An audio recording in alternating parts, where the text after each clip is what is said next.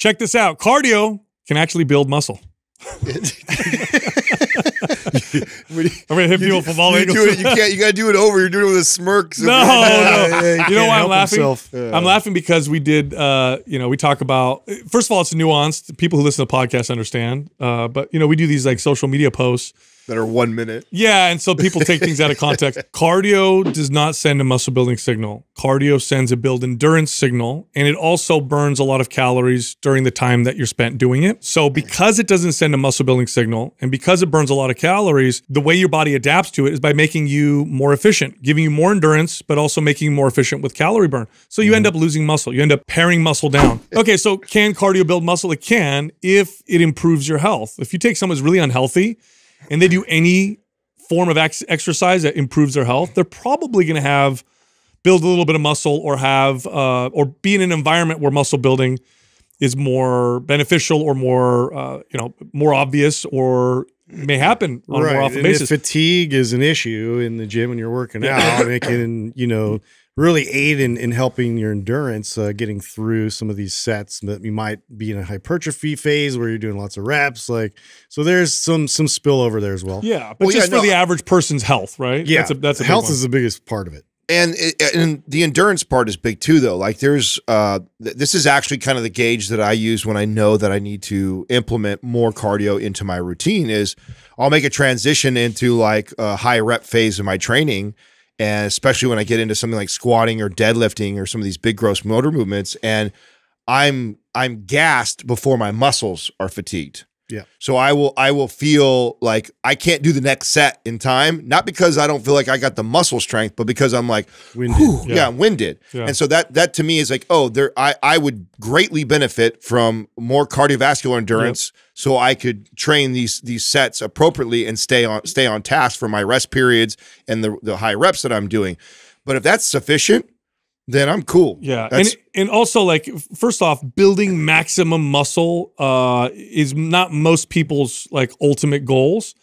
But anything that's extreme, you're going to take away from health and longevity. First off, okay. But let's say you're trying to speed up your metabolism. Let's say your metabolism is maybe not as fast or hot as you'd like because you've dieted so many times, you've cut your calories so many times, you've you've pared muscle down with the wrong kind of workouts.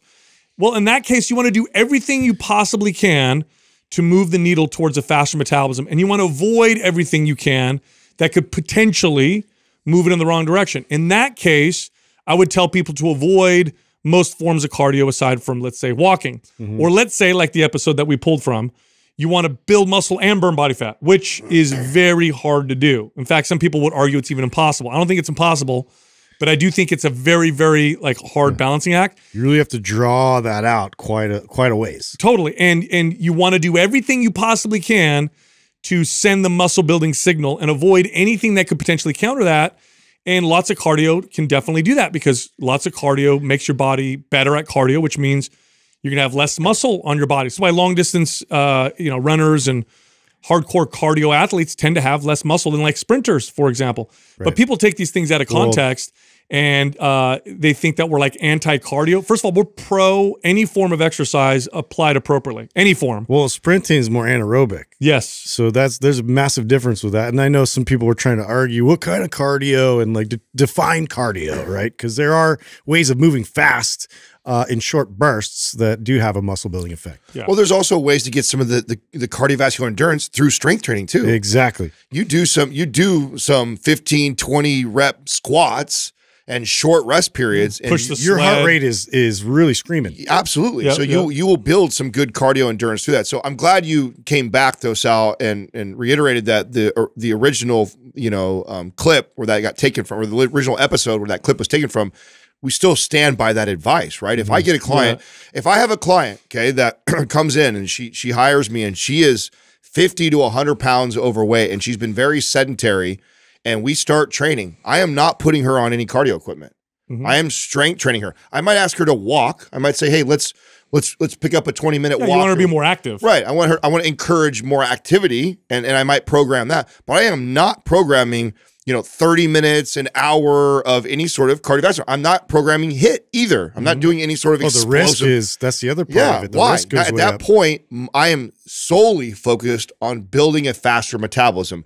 And the fastest route towards that is the advice that we gave in that episode. Right. Yeah. Right. And so, yes, I still stand by that philosophy. Now, the ultimate goal is to get her metabolism up, me drop down 25 or 30 towards her goal, start to introduce some forms of cardio, get this this client way more active, get her be- better cardio endurance, but not right now. Right now, if I'm, I'm looking the fastest way to get her to her goal, it is not by including cardiovascular endurance training yet. Yes. Not think, yet. Think of it this way. Think of exercise as a way to get your body to adapt fitness wise. And then think of diet as the way you get lean. Okay. Think of it that way. Now, the adaptations can benefit the getting leaner aspect if they, let's say, counter what can happen when you cut your calories. So, so when you cut your calories, your body want it, it naturally will try to pare muscle down because muscle is very active. It costs a lot of energy. So if you're at a calorie deficit of a thousand calories, y- at first you're losing weight, but your body's like, we got to meet this these these new caloric this new caloric intake. Let's lower our demand. Yeah. The way to offset that is to do a form of exercise that strongly says says get strong and build muscle. That's strength training. So this is why strength training is the best quote unquote fat burning form of exercise because it results in pure fat loss more often than other forms of exercise. But again, I want to say this like we're trainers, okay? We utilized all forms of exercise for our clients. Yeah. And when you're a good coach or trainer, you have all different forms of exercise, all different forms of exercise. There's different values, both mentally, physiologically. There's strength, there's endurance, there's stamina, there's mobility, there's flexibility. Then you also have, also have to consider the, the the person you're working with with their psychology. What do they enjoy? What do they not enjoy? What's considered stress relief for them? It's so What's much- considered too much stress for them? And then what you do is when you design the routine, you use all these pieces like an engineer uh, or like you're like a, like you're a, a baker or a cook, and you add the right ingredients to help them get to the, their goal the fastest or in the most effective way. And that's that can be tricky. That's what programming is all about. So the reason why we have a podcast and the reason why we never we- we started with the podcast is because it's long form. Yeah. These are not conversations you can have in 30 seconds. Yeah, These are long hopefully there's a TikTok uh, uh, clip in there somewhere for all these uh, lazy turds. I hope. No, it's it's so much more nuanced than that, and I it- it's so funny when you get these relatively new trainers who want to argue the science and. I mean, you're. It just shows me how long you've been doing this for, because right. it's not just that simple. Here's another example of where the, the the this is counter to what the studies and would say. Uh, I would take a, that same client. Let's use that fifty, the client that's fifty to one hundred pounds over, and you know what I wouldn't do for her?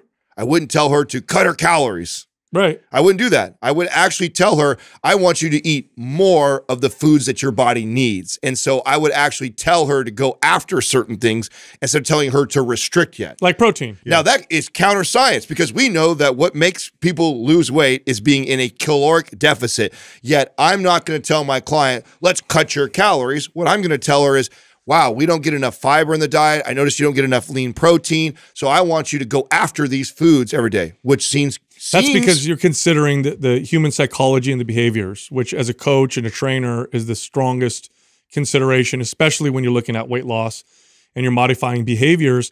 Whereas when people just know the science, they almost they, it's like they ignore all that other stuff. Like it doesn't matter, and they're like, no, no, no, cut calories. What are you talking about? That's what you need. That's to what the study says. Yeah. That's what the science says. That's why I want to. You know what? We got to make one of those is to explode all these TikTok he- heads. Yeah. Is to make one that Science is says, like, wrong. you want to lose weight? Add food to your diet. Just ah, horrible Ah! How could they say that? Yeah, these Oh. guys are idiots. Oh, it's so wonderful. Yeah. You know, social, Layne Norton, get them. you know what? You know what? It makes me realize how imagine being a politician because politicians get attacked all the time. And what they do is a politician will give an hour speech or a 30 minute speech. And within that speech, their opponents are looking for gold nuggets that they could clip Yeah. and use that Just of context. jump on. That's And TikTok. That's, that's, Yeah. That's, TikTok. exactly A what it is. hundred percent what TikTok is. TikTok are these short, thirty second or less clips. And if you don't listen to our It's fast podcast, food. if you You don't know, listen to the whole just show, all you hear me saying is like, lightweight builds muscle, or you hear me say something like, you know, uh, car, car, don't do cardio if you want to get lean and build muscle. And everybody's like, ah, loses their mind. Well, there's context. You got to have context. Well, you guys missed out on a conversation that Andrew and I had yesterday because he brought it to my like we don't even uh, for the audience, uh, we actually don't even see half of our TikTok and reels and these clips that are made. We have a team that does that that we trust uh, to to make good clips and do a good job, and they do a good job. Um, but every once in a while, a clip will go kind of viral. Like there's there's one right now that just got put up like I don't know, look a few days or a week ago. Um, that's got over a million views already. and Andrew brought to my attention and asked, like, you know, how do you feel about this? I said, let me see it. I haven't seen it. So he shows me the clip, and they they've clipped it, and it's the um, but this was the uh, remind me, Andrew, of the the the nuance of what Sal said on it. But it, it's Was it the lightweight Oh, the lightweight muscle? one. Thank you. Yeah, it was the the lightweight. Like so, it, the the TikTok Sometimes the, one of the best things you do to build muscle is lift light weights. Yes. and people lost their lost minds. their mind. Thousands of comments and oh, this is counter to what you guys say, and it's like it's clipped from an episode where we talk in detail about the the behaviors of people. What they tend to do is go towards this way. Like I and uh, me and I remember in that episode talking about. I remember being a young kid who wanted to build muscle, and I was I never lifted more than six reps for years. Mm-hmm. That was like all I trained because I everywhere I read Yeah. It said that if you that's what builds the most muscle. So of course as a young teenage boy trying to build muscle that's all i would do. And then i remember meeting this this smart bodybuilder guy and i asked him what should i do? He asked what i was currently doing. He said how long did you have you been doing that? I said oh I've, i always do that. Yeah. he says go lift lightweight and boom my arms exploded and i it blew my mind because it shattered my paradigm. That was the point Yeah. Yeah. You, you're too. presenting a different perspective of where, you know, the same tools don't apply. Right. A- And that's just the thing. Context matters. And that's why, you know, these clips that are just like, you know, a few seconds long doesn't tell the whole story. And then you want to jump on it and react like you just, you're just a fool. The studies are clear on this too, by the way. If you're a science junkie, like reps one to 30 all build muscle. They all do. Which one builds the most muscle? When, when it's novel, when it's new for you. So six reps can build great muscle if all you do is 20 reps and you've done that for a year. Yeah. And then you switch over to, to six reps. By the way, all of our, I think almost all, if not all of our MAPS programs has phases in both low reps and in high reps. Yeah. So we put our money where our mouth is. It's not like we're like all of a sudden changing our tune because a few people. this on- is not what they say they say the opposite yeah. Well, you how many episodes have you Oh, listened to? there's so many tools to apply. Just the, the circumstances, you have to understand what you're working with first in order to grab the right tool and apply it to your client. So for the for the science junkies or for the person that's new into this and, and wants to be like the science junkie, you need to understand that studies are done in these Yeah, uh, 12 to 16 six weeks. to 16 week type Yep. of range. Mhm. They're not done for years or months, even months and months and years and years. And so you have to understand that that that's that applies really well for that. That is the truth for six weeks. That what that study says. But when you extend that out, Play that out longer. yeah, when you play that out longer over 12 and then 16 and then 24 weeks and then 50 weeks, like it becomes a There's little bit more returns. It becomes a little bit more nuanced and you have to understand more than just that that small two things. Number one, one of the things that coaches and trainers who've been trainers and coaches for, let's say, a decade or two decades, all of us have experienced the following the client that completely destroys everything that you thought to be true. We've all experienced that where you think, oh, oh, I figured it out. I know everything. Then you get this one client where Paradigm shatterer. N- none of it works and it's totally different. And then you got to change your perspective again. That must have happened to me a dozen times over the last 20 years. And each time I became a better trainer and a better coach. Back to what you said, Adam, I'll use a great example. Okay. Um, I think most coaches and trainers who've been doing this for a long time would probably argue, probably 90% of them would argue that a barbell squat is going to build more muscle, general overall lower body muscle than let's say a leg press, okay? But I bet you if I did a study with beginners that was 12 weeks long, so people who don't really lift weights, and we did leg press versus squats, the leg press would build more muscle. Why? Because squats require so much more skill that by the time that these people develop the skill to squat effectively, the study's over. So what they got with the leg press was, oh, I could do this right away. We can add load versus the squat, which is we got to practice it and get good at it before we add any load and really start to build any muscle. So a 12 week study on beginners would say leg press builds more muscle. False. Follow those people for a year or two, and then you'd see the barbell squat is actually superior. What we didn't control for there was that learning curve and the skill required to effectively do the exercise uh, known as the barbell squat. Yeah, the, the the the the curve of adaptation matters, right? So if somebody if it's a if it's a very high technical skill movement, it's going to take you a lot longer to get good and reap the biggest benefits. But there's also benefits to the fact that it does take you long. Yeah. It's not it, it stays novel much longer Very because, good point. because you're trying to get good at it. Where a leg press, it, it very quickly it's no longer novel. It's like very simple to sit your ass down in a seat like that and push your legs, Mm-hmm. and so your body goes, oh, figures it out really quick.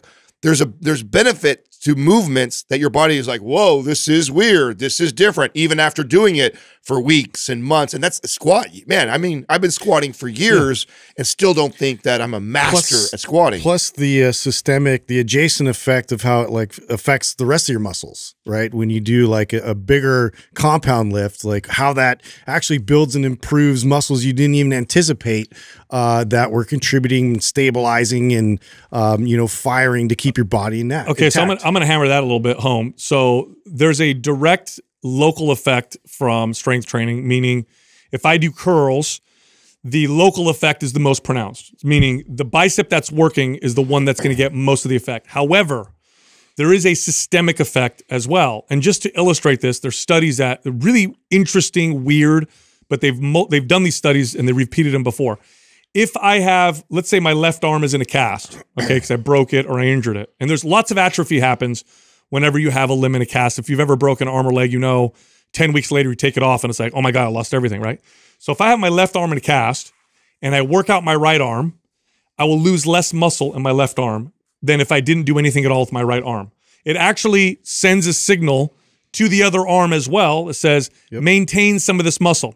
So, one of the best things you could do when you have a limb that's injured is to train the rest of the body, or especially train the opposing limb. There is a systemic effect. In fact, we had a caller recently who who That's said that think of it, yeah. he finally he heard us talk about squats so much and how it actually will build the rest of his body. He did squats and his arms grew, his legs grew, but his arms grew as well. shoulders grew as well. Yeah. Yeah, yeah. So pretty cool. What's up, everybody? Today's giveaway is MAPS Cardio. This is the endurance based workout program that doesn't make you lose muscle. It is designed to prevent muscle loss while boosting stamina and endurance. Here's how you can win that program. Leave a comment below this video in the first 24 hours that we drop this episode. Subscribe to this channel. Turn on notifications.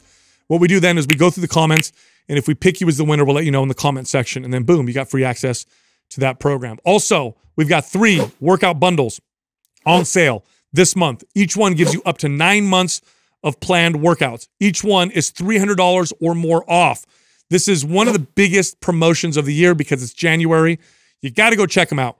Go ahead and click on the link at the top of the description below. Learn more or just sign up. All right, here comes the show.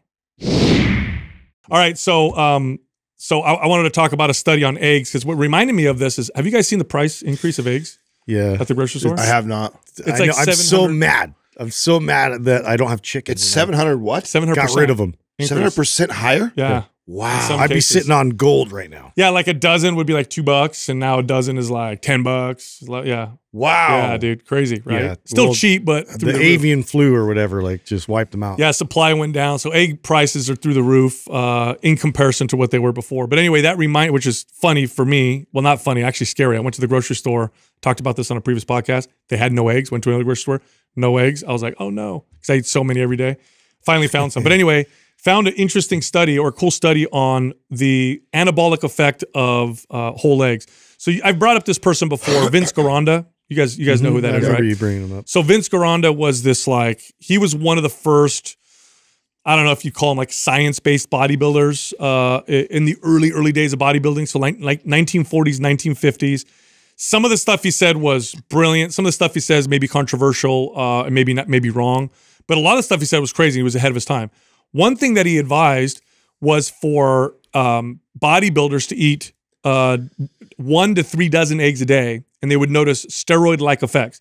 Now, just to paint the context, the steroids that they took back then are not like what they did, what they would do now. So it's not going to compare to like what a pro bodybuilder is now. Back in those days, Probably like TRT version of it. right? well, back in those days, we'd take like five or 10 milligrams of, of Dianabol a day, and that was their cycle. Hmm. Today, that's like, that would be like a joke. Like a bodybuilder would even they would do like 50 milligrams of D-ball plus a bunch of other stuff. Okay. Mm. So he would compare it to the context of the time. Nonetheless, there was a study that was done on egg consumption, and I'm going to read to you kind of what it look what, what it looked like. So they took 30 resistance trained young males. So these are guys who worked out already. 30 of them. One group ate three whole eggs right after training, and the other group ate six egg whites right after training. So egg whites versus whole eggs. Ha- Three versus six. Three versus six. Okay. So protein intake is the same.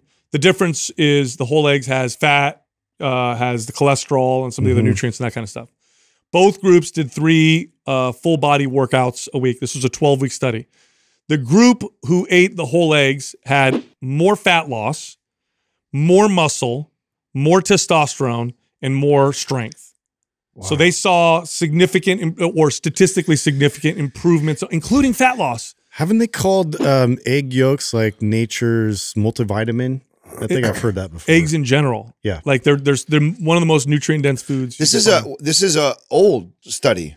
So do they Back base in that? his days, right? no no no no. This study this study is Oh, uh, oh, so you were you're referencing Vince because he used to recommend that. Yes. but they did a recent study. This is was like, more that's recent. interesting that it's not because I thought you were saying that was old. I'm like that's No. weird because in, in the bodybuilding community, egg whites are so popular. no. I brought up Vince Gironda because one of the things he was known for back then was for taking his athletes and having them eat like lots of eggs every single day, and they would all get all these huge gains from it. Now I obviously I've talked about this before. I eat between eight to twelve eggs every single day, whole eggs, and I notice significant muscle uh, gains when I do so, especially if I haven't done it in a while.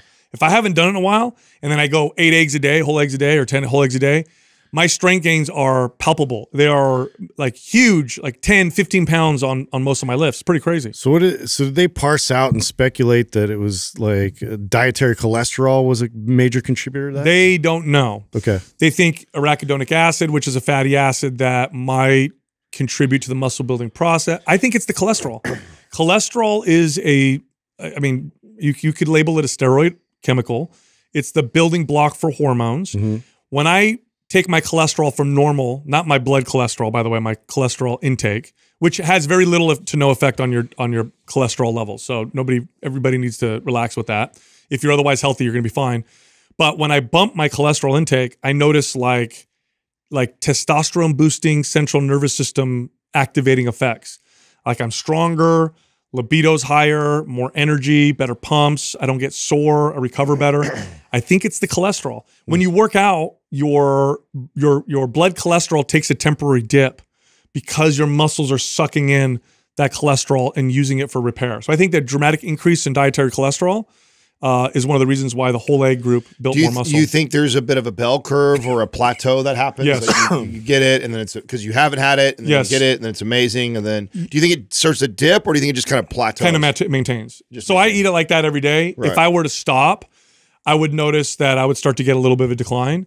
And if I stop, and I'll do this every once in a while, I'll stop for two or three months, then I'll bump it up again. And it's like the first three to five weeks, boom, it's this huge boom, which is cool. If you're an athlete So or a power lifter, test this out on yourself. It may help you peak for your event. So what's the theory on that? Like that's because you, you get this from some supplements, right? Too, where you take these supplements and you feel this initial like, oh wow, big difference, and then it just kind of levels off, and then it never really gets better. It doesn't get worse, but just kind of stays the same. You it is is the theory on that that there is there's an optimal amount that your body wants for optimal performance, and you were probably running, you know, pretty low or suboptimal, and then you get that, and then it it takes you to your your most ideal amount. Here's what I think is happening because so the reason why the whole like cholest- dietary cholesterol hypothesis of the 80s and 90s has obviously been debunked, right? Where they're like, oh, don't eat cholesterol because it affects your your blood cholesterol. We know that to be false because our body has this really remarkable mechanism for um, you know, manip- modulating our own diet, our own blood cholesterol levels. So your liver will produce more or less cholesterol depending on how much you ingest. The old studies, by the way, that were done on dietary cholesterol that showed, oh my God, if you eat lots of cholesterol, you have terrible cholesterol, were done on rabbits. Mm. Rabbits don't have this system in the body that regulates cholesterol. Ours does. So what I think happens is that initial three to five weeks, your body is starting to adjust, but in the interim, you just have way more of this cholesterol available. then when it adjusts, then you kind of plateau a little You bit. You know, you just Hmm. said something that I wanted. I've been meaning to bring up to you for a while now, and I read it the other day, and I was unfamiliar with this. Um, that I find interesting because the prevailing theory is that we evolved from some type of monkey. Why is our digestive system more like a pig and not a monkey? If that's what we evolved from, supposedly. oh, I didn't know that. Do you know that our digestive system is closer to a pig than it is a, I any know- sort of monkey? I know pig hearts. look it up, Doug. Adam similar. bringing in the facts. No, I I, know you- that our skin is very similar. You, I think that's And that's why they I find that really for, like, weird tattooing that if we if we supposedly evolved from you know a Yeah. a you know I We're primates. we're a primate we're Right. a monkey. Well, then why would our digestive system be so different than a monkey and it's closer to an So animal I like would a pig? guess this. I don't know what the dietary. What do wild hogs eat? Well- a lot. Wild hogs are are they're Root- omnivore, right? Yeah, they're omnivore. Yeah, they Did you Google it right, Doug? and- Yeah, um, I'm trying to find the uh, the details on this. Um, All you have to ob- do- obviously, we're not like a cow. No. Uh, No, just to what animal what animal are humans' digestive system most like? And you'll see it's not a monkey. now, by the way, sure- before we get into this topic, I just want to say that the egg price has gone up 60%, not 700 oh, I read I read somewhere in some places seven hundred percent. read Seven the hundred same- percent, but think about that though. It's a five dollar carton of eggs. Seven hundred percent is actually thirty five dollars. Math is not my that buddy's true? strong No, suit. no, no, no. I read. I read in some places up to seven hundred percent. Okay, Yeah, well, uh, What, but, what would be seven hundred percent? I read that same. No, well, no. It It's like could have been thirty-five uh, bucks for a carton. an Well, not if alarmist a carton's a title. Dollar or something. The cheap ones. oh, I don't know. yeah. That's that's I think what they were talking Oh, about. I see what you're saying. Okay. Yeah, but I just wanted to clarify that. maybe maybe Doug, kind of maybe you could put Doug egg prices went up seven hundred percent. Just do that and see if you can I'll, pull I'll up a couple up. articles. Yeah, but first off, I'm going to find I out did. whose digestive system is. Yeah, yeah. I, I saw. I, I I read this like it was a few weeks ago, and I I kept meaning to bring it up to Sal because I thought maybe he'd already been familiar with this, and I thought, you know, that's so funny to me that you know the again prevailing theory is that we've evolved from monkeys. Yeah. But then our digestive system is further away from than uh than uh them than a pig. Yeah, Yeah, so it says the human large intestine lies somewhere between that of a pig and a similar omn- omnivore and the dog. Mm. Yeah, we are we, we are close. By the way, pig we're the closest to, but we are closer to like multiple animals before we were even a monkey. Well, well, so we didn't evolve from monkeys. We we were distinct. Uh, we're distinct from monkeys. Monkeys are a type of primate. We're also so a long time ago there was a branch. So just to be clear, because people were like, "Well, what you know? Well, that's where the- were monkeys back then? Then, you know, That- or why did monkeys exist back then? But but I I would I'm going to guess it's because our digestive system evolved around our hunting and gathering habits.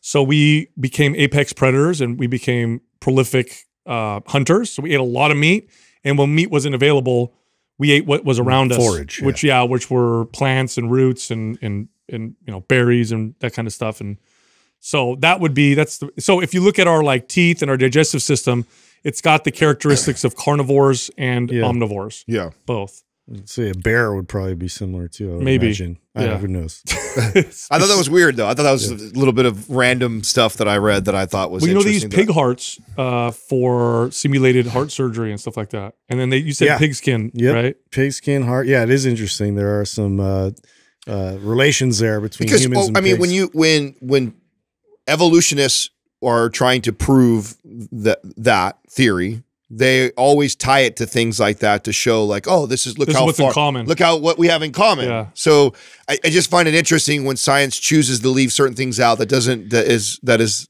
does not prove their theory Yeah. and that's something that is counter utilizing like oh look how close we are to the bonobos but this this and this and it's like okay yeah but then our digestive system is fucking 10 times further Well, they, away they so- base this off DNA. So our DNA and a chimp's DNA are remarkably similar, but that small difference is a big difference. Like we share most of our DNA with a banana too. So, so That's what I'm so, true. so it's crazy when we we cherry pick data like this to try and prove these theories, and it's just like guys, we we know so much less than what we act like we know. Doug, did you find the 700% increase? I did not. Uh, I Well, I was going to note that the human digestive system is significantly different from those of primates that share a high percentage of DNA. Interesting. I Hmm. Now primates Mm-hmm. uh, are better at dropping some science for you guys today? Yeah, yeah. I don't know. coming in hot. Yeah. The only thing that came up for 700 in eggs is 700 reported outbreaks of the bird flu. Uh, well, so I'm not seeing that. That's right. That's a right. 700% increase in bird The flu. the the uh, the point he was making is true though. Yeah. it's- it's- it's- Thanks, Adam. yeah, yeah, yeah. It's really expensive. it wasn't expensive. It's before. extreme. Yeah. I appreciate it. At the end of the day, it's extreme. hey, speaking of diet, what you were talking about earlier when with you when you take an obese client, you tell them to eat more. My Yeah. cousin, uh, very close to my cousin uh, Sep, him and I grew up together, and he's like he's like going on this thing now where he's like, okay, I'm gonna watch my diet. He just got his black belt in jujitsu, so congratulations to him. And he's like, you know what? I got my black belt. I really want to improve my fitness because I want to be able to to like you know wear the belt with pride and still kick ass or whatever. So he started to, you know, he inquired with me with macros and that kind of stuff. And I told him, I said, okay, here's what I want you to do. Right now, just track your food and just try to hit protein targets and let's see what happens. So he's a big dude. He's about 215, about my height. You know, he's pretty strong built dude. And I said, um, hit 200 grams of protein a day. And he's like, oh, okay, that, that shouldn't be a problem. I said, oh, well, you try and let's see what happens And he was probably surprised, huh? very surprised how much always. it, how much it suppressed his appetite. He's like, bro, it makes me like, like I don't want to snack, I don't want to eat other things, and I'm trying to eat more of it's this protein, and it's hard. And then through this process, he's already starting to lose body fat, and I know he's gaining muscle at the same time because he's stronger Yeah. when he's working out. This is over two weeks Yeah. just from doing that. So his mind is being blown. impact. And I told him, I said, we're going to reverse diet you. We're going to get your calories up. And then I'll cut you. And I said, I'll get you to the point where you're like 11, 12%. I, I had been a trainer for maintained. over a decade before this came all together for me. Like, and to me, I would say this was some of the the the best uh, or the the best shift I had in in the way I coach people because for up until up so for a decade, I would look at I would get I would put all the the numbers in the science. The math. I would go, okay, here's how much you weigh. This is your age. This is your activity level. And then here's where I need to put their calories in based off of those those metrics for this person to lose weight since that's their goal and then I would prescribe that and I would create the custom meal plan and that is how I train clients forever Yep. and I absolutely do nothing like that now it's exactly what you said is I I don't I don't care like, Well, eat whatever you want, just hit these protein yeah, targets. I don't even I don't even care your measurements. You know that I don't even I don't even need that shit. I don't even need. I, only thing I need to know is your weight, so I can get an idea protein wise. Right. Right. I don't care about all that stuff yet. Just give me where that is, and track for a week so I can see what you do. Mm-hmm. Don't try and impress me. Eat how you always eat, and then from there, what I always lead with because it's. I don't think I've ever had a client. That's why I think when people are like, "Oh, I eat so much protein," I don't. I don't need to focus on that. Like, okay, because in my experience, even the people who think they Yeah. eat lots of protein, Because he did it for two days in a row. He's like, oh, I could do this. I said, Dude. give it four more days and let me know what you think. He's like, bro, he goes, I can hit 150. That extra 50, he's like, it just kills my appetite. And I'm like, that's exactly the Well, yeah. I mean, I I've been going through that same process of. Um, I've told you guys I would skip breakfast all the time for like years, and like it was started really like reinforcing the fact I gotta eat consistently in the morning, and just eating in the morning was a thing. But then me like loading it with like more protein than I've ever loaded it before, so I front load it instead of like trying to get it all in dinner like I used to do. It- and it's just like boom, you get this like anabolic uh, sort of burst uh, throughout the day, which is like totally new to me. It's just, I mean, for since a majority of clients, so the average client when you're a trainer is a you know middle aged female trying to lose weight, and that advice. What was, let me ask you this, Adam, because I know what my number is, but on average, when you would have these middle aged women track their protein and without you telling them what to hit, just let me just see where you're at. On average, what would you see the consumption be at? Uh, what they take? Yeah, Fifty grams. a day. Yeah. Same. Yeah. 40 to 40 to 60 Yeah. max. Yeah. Fifty grams. which is like these are 140 150 pound 160 pound women it's nothing nothing and, and then telling them to get that, they would run into the same thing. by the way essential protein for a woman like that is around 50 they were barely hitting what's considered essential protein Yeah. let alone optimal and and let alone somebody who's lifting weights and trying to build that's muscle. right So there's there, uh, so the range is they could go much higher. They could go double and still be under what would be optimal for building muscle. Yeah. So they have a long ways to go. And and instead of telling, and then then you add in the psychological part. I mean, you tell a client who's way overweight and they hire a trainer. They get you, and they're for they they know what's coming. Oh, I gotta cut this out. Yeah. I gotta I'm stop ready to that. st- eat way less. to. Yeah, and so you blow their mind when you go like, and they go, "Oh, I got to cut it." No, no, no, I don't want you to cut anything out. I just want you to make sure you hit this number. so i need to eat more Yeah, more want you- yeah. protein So focus on that. And I, I don't care about anything else yet. So know. let and just and it blows their mind, and they're like they're like pumped. Like I hired my trainer to lose fifty pounds. This- and he's you know- telling me to eat more. You know, my favorite part of I know you guys experience the same thing. My favorite part of that would be they would because you know you guys are convincing, so we can be very convincing. You have to be when you're telling someone to do something that's the opposite of what they anticipate. Mm-hmm. I literally have to have conversations, by the way, with people for 45 minutes to convince them to do this. Then they would try it, and I'd say, just trust me. One of my favorite lines. I'll ask you to do this one thing. Trust me once. You'll, I'll never have to ask you to trust me again. So I'd be like, all right, I'll do this. A month later, they drop, you know, two percent body fat, and then they'd be like, what? What Yeah. magic are you doing to me? Mystifying. I'm I'm so stuffed. How is this working? And then I tell them you're actually eating less calories. I don't think you realize it because your protein is higher. Exactly. yeah, and it doesn't feel like it because they feel so satisfied because right. they're eating so much. That's yeah, right. no, it's seriously. Anyway, so I got to ask you guys for some help. I'm going to probably at some point need an intervention at some point. So you guys know my. I'm just being Is honest. this supplement based or I'm what- just being what is honest. I'm going to put it out there so that it's out there, and Okay. you guys can, you know, now you guys have to do it. Uh, you guys know my complicated relationship with supplements. yeah. Powders okay. and pills. Well, now I'm introduced into the world of peptides Oh, with, our, God. with our friends at mphormones.com. Right? You know, Doug pulled me aside when we first did all this stuff, and he said, "I need, I need you to keep a close eye on Sal because Oh. I feel like you're the only one that's going to be able to restrict pig. him." Yeah. Because You know what might happen? Is that Doug? racist calling You know what a guinea happened? pig? He'll cut what?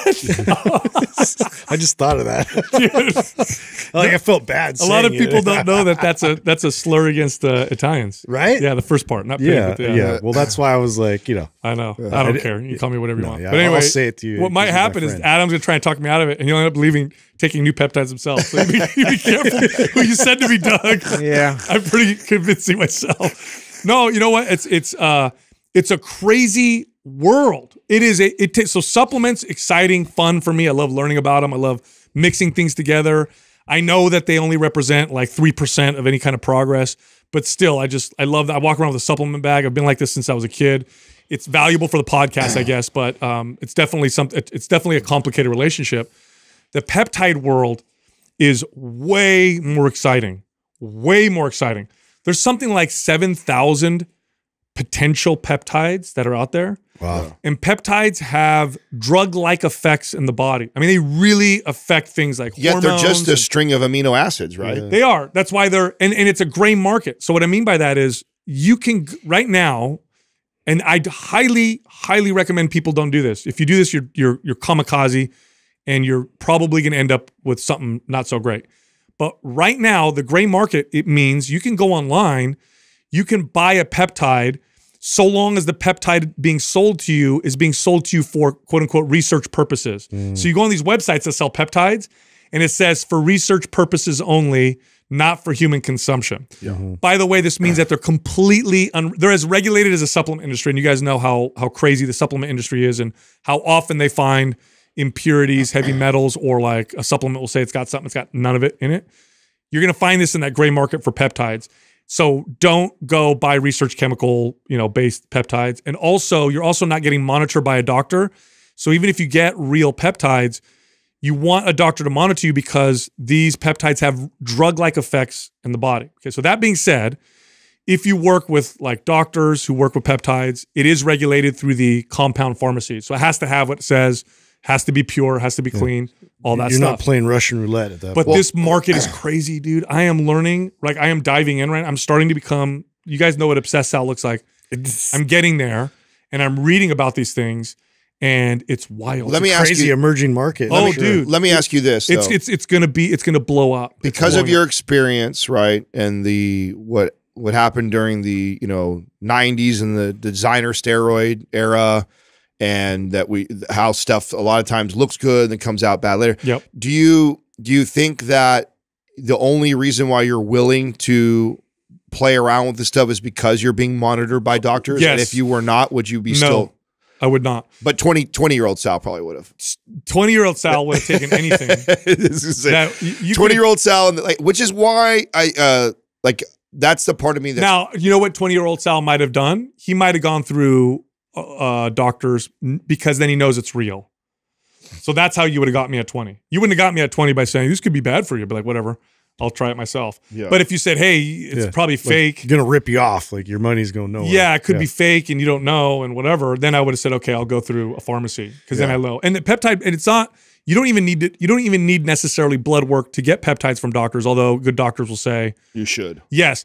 And and you and, And you should. and look back in the designer steroid era when you could buy them over the counter. Had I been monitored by a doctor, I would have known what I was doing. No, that's a, W- had that's bad why I asked that question Yeah. because th- I actually would have taken those back then if I had that right. Like Yeah. if, I, if I had the option to, if I if that was accessible as it is Yeah, it was today. like illegal back then. I mean, yeah, I would actually. I would totally, I would love doing. Oh, it. doctor would have been like, "Whoa, your liver enzymes are through the roof, Yeah, and your natural testosterone add this, went take the this away, lower this, increase that. right. Like I would have loved to have somebody do that. Instead, I was the, the dumb kid who was just trying things out myself Yeah. in my garage. like how do I here. feel? Same here. So anyway, this peptide market's wild. They have a, they have a peptide that I think it's called Mox C, I believe. I'm reading about right now.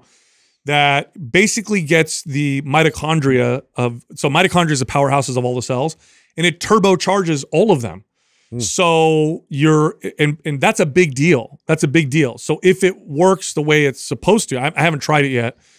You're basically all of your functions are improved. Everything about your your your cognitive function, muscle building, fat loss. Uh, people report getting feel because I this so I was talking to our, our partners at MP Hormones, and they brought that to me because I said, "Tell me about all the the cool ones that are out there. I want to learn." So they sent me some stuff, and I called them back and I said, "This probably is going to boost your metabolism because if you if you turbocharge mitochondria, you're just going to get a lot of energy leakage. Your body's going to burn lots of energy through thermogenesis." And he goes, "Oh." When you take this, you feel warm because that's why people are talking about like they want to they sweat afterwards and they get leaner. This is wild stuff This is wild. really crazy. and now they have me right now. I've already told you guys uh, in the audience. They have me on these like nootropic peptides, and uh, I'm I'm a week and a half in. So far, really crazy, really wild. I, I'm getting real little sleep because of the baby and all that stuff, and uh, I feel And no side effects or anything like that. The side effects I notice are good. Like I'm uh, strangely sharp Oh, to, well, to the yeah. point where I'm like, this is. Weird. I'm talking about bad Yeah. stuff. Like, and I know that like uh like uh, this the alpha brain doesn't fall or not uh, alpha yeah alpha brain and then what were the other type of um Well, prescription Adderall. no, no no no no no the other nootropics Like that the we- Oh, like synthetic lion's one. mane. No like Piracetam Oh, oh yeah. like those things I had adverse effects to that so that's You got they're, headaches. they're not they're not in the same category No. as peptides No. they're different so what what explain to me the difference like is peptides are just a string of amino acids and then what would be like Piracetam So there's a huge there's a there's a huge range of what kind of peptides you can get and use for whatever your specific goal, you know, target goal is. For example, they have peptides that raise growth hormone. Some of them raise growth growth hormone by mimicking ghrelin, mm-hmm. which is a which will also raise growth hormone. Some of them directly tell the pituitary to produce more growth hormone. So they're different, but they both raise growth hormone, for example.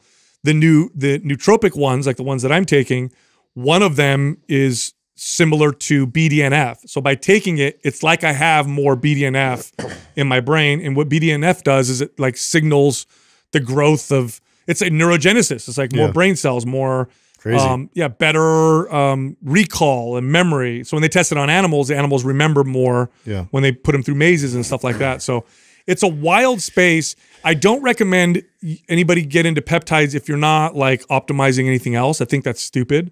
But I think if you're like me and you like really like to move you things get all around, your, your ducks in line, you know, then Yes. you know you want something a little extra. I think it makes sense. Yes. You know what it reminds me of too, because that's a very new emerging space that, that people are kind of like getting into.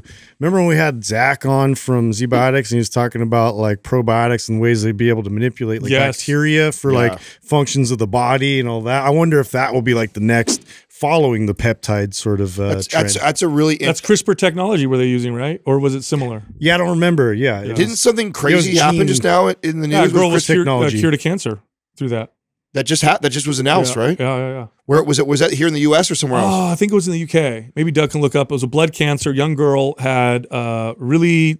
This don't was a big. This was a big fucking deal. totally cured her. Cured her. So it was, it was through gene editing, yeah, gene editing. and yeah. they basically can, told her body to get rid of the cancer, and it did.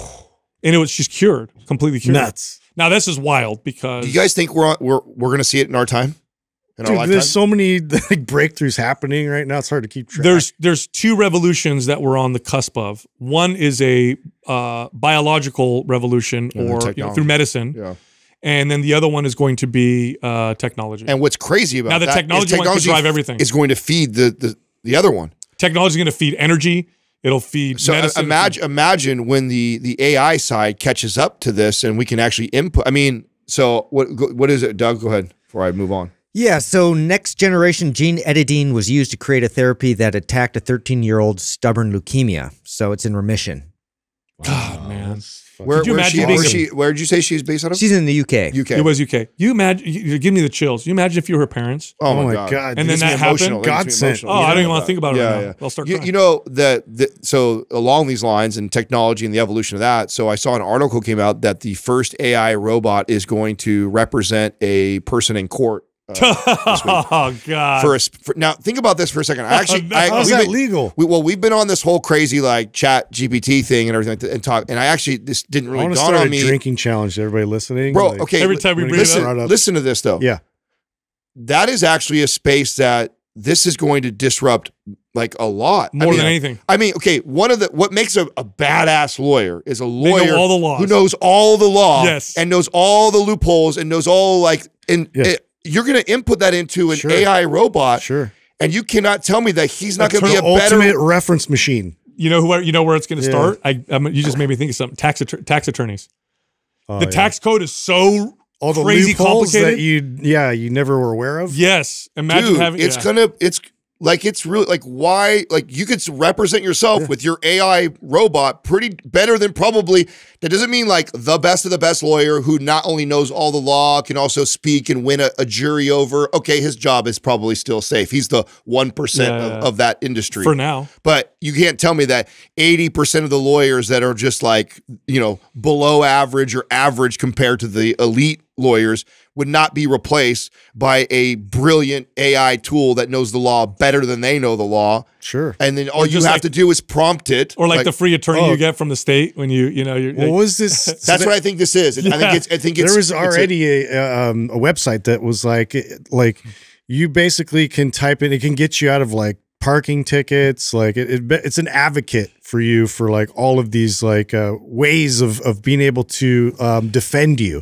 against like legal issues So you know what I'm thinking? Like, oh, this is way down the line, but you get like a, a really good, you know, prosecutor lawyer who can read every micro, you know, adjustment of your face and your eye, pu- your pupils and whatever, and is like cro- is like Yeah. questioning someone and cr- like making an crack. interrogator Yeah. just like you know knows all your vital signs I don't like, know, man. your We, heart we rate are, it's dude I, I think it's a lot closer than what I Adam used is to so think. freaked out about I am. It's like, you know, okay, so I, I talked about it on my my NCI talk yesterday, and I and I said, you know, I want I want to be clear that uh, I don't want to feel like I'm fear mongering everybody on here. Like I think that I'm I'm excited about it. I want to. I I- think there's a lot of good things that are going to happen.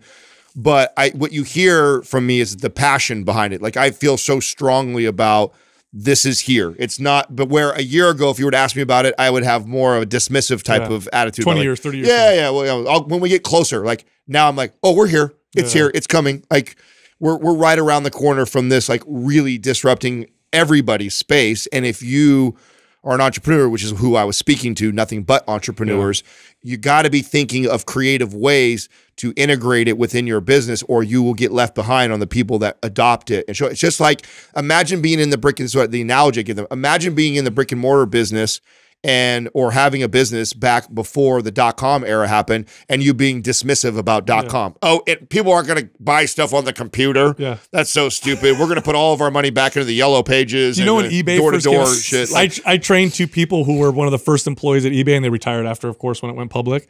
And they said when eBay came out, the criticisms were hilarious. Like, oh, people are going to trust other random people Yeah. on the internet to Yeah. send them stuff and be honest. That's going to fail. Oh, it's the same with Uber. Like all of a sudden, all the drivers were going to take them somewhere and murder them, yeah. rape them. Yeah. That's just going to happen. Right. like every time. Did you guys see? Did you guys see the next phase of home security? Th- that ring isn't is dropping. What is it? Oh, it's cool. Pull Does it it up. have laser beams? No, what it is, no, listen how this I mean, this technology was already there. It's crazy that they, obviously they're the first to do this. How brilliant is this? Okay, so now the the new cameras, you know, right now we had to drill all these fucking holes in our Yeah. in our thing, and we have these. Now you have these the motion sensors. This thing is docked, and it's a drone. And when the motion sensor goes off, it activates the drone, and Oh, then hell you can yeah. and then you can control it manually What, or it- fly around your house? yes. And it doesn't have laser beams on it? And it flies God around your it. house and records. And so you can either or you I'm can either set it up to be motion activated or manually do it yourself where you launch Can you it. imagine someone breaks in your house, you fly the drone above them so they can't reach Oh. it, and you're like, "Hey man, get out of my house!" Or like flipping you off, taking Yeah. your shit. Like, oh, get out of my house. Think of how sick that is though. that is cool. I, that Did you hear? Speaking of which, did you see what the, what Roomba? You know Roombas are those things Yeah, that vacuum or whatever. Did you hear about what happened? Mm-mm. So apparently, Roomba takes pictures of your home and stuff so that they can To continue map to use it, yeah. AI to map Right, it out. Yeah. So they can Well, sell you stuff. So they know what rooms you use and what type of Well, stuff. Well, apparently there were some tech workers somewhere or people, whatever, who were able to upload pictures from Roomba, and some of them were inappropriate, like people on the toilet or people whatever. Because you know you're having sex, Roomba's cleaning the house, and they uploaded these these pictures of inside people's houses of them doing stuff. Wow. That's, oh, that's the, that's the drone right there. Look at that. Is that sick? That's, That's actually really not the. Ring one. That's a different company, I think. Is that Ring? I can't. I think it's Ring. Yeah. Oh, Uh, the top one. Isn't that cool? That's cool. So it That's cool. stays docked, and then you can launch it. I mean, Yeah. Doug, come on, get on this. I want this. Yeah. All right. Yeah, this is Everybody cool. gets a ring. Yeah, It's a ring drone. not for us personally, for our houses, dude. Come Yeah. on, I think that's so cool. Hey, we're supposed to mention uh, Ned, uh, by the way. I want to talk about their sleep blend. Uh, I gave it to one of my cousins uh, because he's been having insomnia. And I'm like, oh, this this is not for everyday use, but this will knock you out. He You took it. He's like, bro, he what's goes, I woke up with a beard. He goes, what did you give me? he's like, I slept so hard. I don't know what happened. You know what's so awesome about that Hell is your family's so big, you have the commercials for the next like three years. Absolutely. Oh, It's just- I gave my family. I gave my family. Like it's always a family member. You I can ha- pick- well, I have can- some family members that'll take anything I give them. yeah. My dad's one of those people, by the way. My dad, he'll come over and I'll give him something. My mom's always, she's always like, "What are you giving your dad this time?" Don't worry, I got this. Yeah, yeah. I'm So fine. you know it's it's funny like uh, because you know I'm the opposite right I'm like so trustworthy of like like you've already won my trust over Yeah, so you yeah. could just hand me any pill and I'm like okay what was just it You know, it with yeah yeah Katrina is the opposite like even like of all the information she has learned from us and like if I try to give her something she's like so anti taking Really? yeah anything I'm like honey Is she like anti like uh like pain medicine too? oh like yeah? Oh, she, see, she takes no I noticed that some people are like that. They She's- won't even take pain medicine. She's never been on birth control. She's never taken any pharmaceutical stuff. Like she's like Hmm. getting her to take something is like really, really she's rather all natural. So that's how I have to sell to. This is herbal. It's natural. Yeah. Oh, yeah. Take it. Trust me, you know. It's but it's like earth. even with the like the cold thing, like I was trying to explain, we both went through being having sick, right? Being sick recently.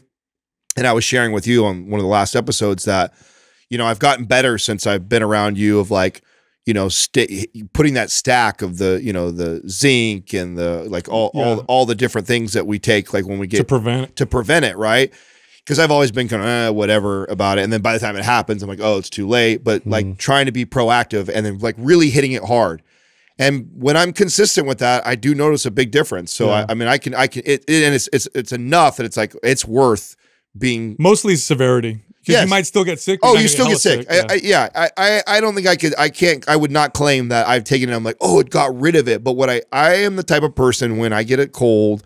I'm a big ass baby, and part of that is because I I have that attitude of oh, let it let it run its course. I don't really do shit for it. Maybe I take some NyQuil at night so I can sleep.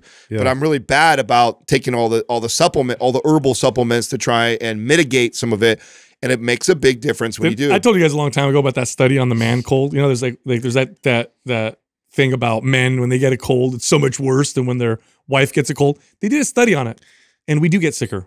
We do get sicker. Oh, is that true? Wow. we experience we experience the illness uh, more, the pain and severity of the illness more. Now, other types of pain, women apparently experience more. Now, this is one study, so it's not confirmed, but I thought it was funny. And then I come up with my evolutionary theory. I said, well, you know why? Because I was talking to Jessica about this a while ago, and she's like, "That's bullshit." And I'm like, "No, it makes sense if you think about it." I said, "If you're a if you're a gatherer." And you get a little sick, like you can still gather nuts and berries and shit. I said, if you're a uh, hunter I and love the hunting party's going to go out. Yeah, let's bring that up. Yeah. and and the our stomachs are so different. if you're if you're a little sick, you got to stay home. You're going to prevent everybody from killing the buffalo. You know what I mean? She's like, you're stupid. Yeah, I don't know, dude. Because Courtney gets like knocked out when she gets sick, and then will give me shit about just like you know complaining one time. oh, does Courtney like that? Huh? She gets it bad. So yeah. Katrina does not at Yeah. all. I'm the I'm always I just power through everything, dude. yeah, she's a champion. He does. man. Justin and Doug have really good immune systems. Yeah, They It's do.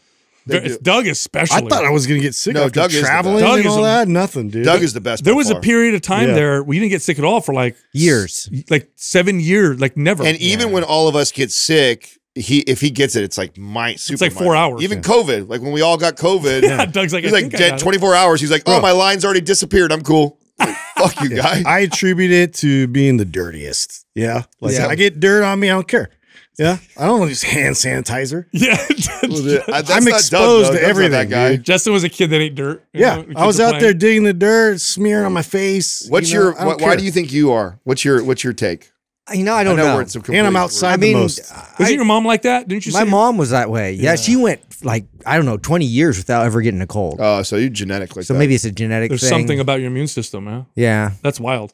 All right, we're also supposed to mention uh, Joy Mode. I wanted to talk about one of their products. It's a it's a test, quote unquote, testosterone booster.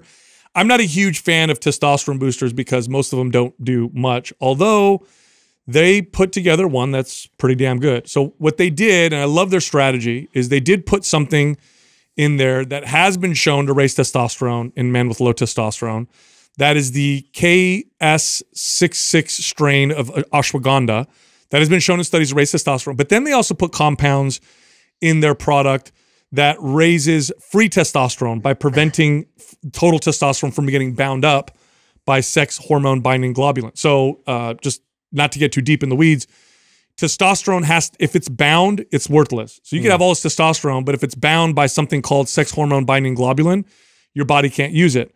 There are things that you can take, like DIM, boron, that will actually free up more testosterone. So even if your testosterone goes up 10%, but then you free up more of it, you get much more of a boost. So it's, it's one of those few products out there in that category. It's one of my favorite categories, but it's one of those few products where I looked at the ingredients and said, okay, they're actually science based. Isn't it formulated from our friend Eric Kessler? Yeah, he, he helps. Actually, I think his name is what is it, Doug? Trexler. We had him on the show. Really smart dude. And then his Instagram is Trexler Fitness. So T R E X L E R Fitness on Instagram. Uh, very smart dude. Very very smart dude. So if you like to get in the science of uh, of all this stuff, fitness, uh, give him a follow. All right, check this out. In today's episode, you heard me talk about peptides, that whole market of interesting compounds that could do things like boost growth hormone, uh, improve cognitive performance, uh, suppress appetite, make you feel better. I mean, it's crazy, crazy market. Well, our partners at mphormones.com are experts in peptide sciences. They also work with hormone replacement therapy, so you can get your testosterone levels checked, your estrogen and other hormones like thyroid, and then they can help optimize your body through medical intervention, working with doctors and coaches. By the way, our partners at mphormones.com are some of the only people where if you work with them, you've got 24 hour access to one of their coaches. Literally, you can ask them questions, give them feedback, adjust your dosages. Like, I don't know anybody else that does this. Go check them out, fill out intake form, talk to one of their experts, see if peptides and hormone replacement therapy is right for you. Again, it's mphormones.com. All right, here comes the rest of the show. Our first caller is Louis from Washington. Louis, what's happening? How can we help you? Hey guys, uh, got a question for you guys. Uh, so, you know, a little backtrack. I used to be really into weightlifting, uh, way in my early twenties. I did, uh, what was it? It was actually Tiki Barber's uh, workout uh, with powerlifting, Oh wow. and uh, actually got pretty good. You know, my uh, I was squatting 340. I was uh, repping out 225 on the bench uh, for like 10 reps pretty easily. Uh, of course, that's after college and started working for the past 10 years. And I've been really sporadic about getting in the gym. Um, so finally decided after listening to you guys for about a year to, uh, I bought the RGB bundle Okay. and I just got through phase or pre-phase of anabolic. Uh, last week, I was in a gym and it was one of those packed days where I couldn't get on the bench or um, in the machine. So I was on the, uh, I did my so bench. I did a dumbbell bench, and instead of uh, tricep push downs, I did single arm tricep extensions. And my left side is drastically weaker than my right side I mean, easily 10 pounds on the left side, weaker, and maybe I've got five still on the right side to press when my left side is shaking. Wow. Wow. Okay. So my question was being, do I stop anabolic now? And I've heard about symmetry. And should I hop in that or am I better off trying to get my strength back overall with anabolic and then hopping on symmetry? You're, you're only past pre-phase? Yep. And and what'd you do before this? Or are you just getting started? Uh, just getting started. I've had, you know, like I said, sporadic. I mean, I've wasted thousands of dollars on trainers who couldn't really teach me anything. Okay. Let's throw him. Uh, so- let's throw him symmetry. Yeah, but well, well here's the deal though. good- If he wasn't working out, so if I took the average person who isn't working out and I had them do unilateral exercises, you're going to see that big of a difference, if not bigger. So that's why I asked you what you were doing leading into MAPS Anabolic. If you've been working out up to MAPS Anabolic Yeah. and you have that, then I would say go straight to symmetry. has symmetry. a powerlifting background too. Yeah, so- if you haven't worked out for a while and then you got into symmetry and then you did pre-phase and you see this, you're going to get a certain level of balancing out with MAPS anabolic. So that's why I asked. So so up to up to starting MAPS anabolic, how long was your layoff or how long were you not working out for? It's, you know, probably a couple years, but then it'd be like I'd work out for five months and then, you know, I wouldn't work out for six months. and Then I'd work out for three months and then I'd be off for two months. Yeah, Kind of hit and. I think you're fine doing MAPS anabolic and then going to symmetry. You're gonna you're gonna balance out quite a bit just because you're strength training again. Like I said, if I take the average person and have them do anything unilaterally, you're gonna see a bigger difference than what you see. In fact, Yeah. you'll, you'll see a, such a big difference. No, no, no. I looks like- agree. I yeah. agree. Finish, but we're, we're going to throw them, Give them symmetry. Yeah, give no, it to him. yeah. We're going to send you symmetry so you have it, and then run through anabolic, and then afterwards jump into symmetry, and Totally. then and then return to performance after that. Totally, hundred percent. Right. Thanks. That's awesome. Louis, Uh, quick onto that. Um, because I also, my chest is my weakest point. So I picked up the uh, add on for chest from you guys. Mhm. Uh, is it too soon to throw that in or should I get through a whole yeah, an answer? Yeah, yeah. H- hang on. That'll that'll be of value to you, but hang on to that. I wouldn't implement that yet. Right now, I go through anabolic the way it's laid out, then I do symmetry the way it's laid out, and then go into performance, and then maybe add start to add that when you get There into you like go. aesthetic, because aesthetic is focused on actually more of how your chest looks and symmetry, and you're, you're going to get some of that in there anyway. So I think that would pair nicely with uh, uh, Maps aesthetic. Exactly. That's what I would do. Okay. Sounds good. You got it, man. Thanks for calling in. Great. Nice guys. All right, Louis. Yeah, that that that Tiki so, Barber, bro. When's the I last time you heard that? I haven't heard that. He name must in have been. long Did he say he was a football player? Did he- Uh, was he an ex football player?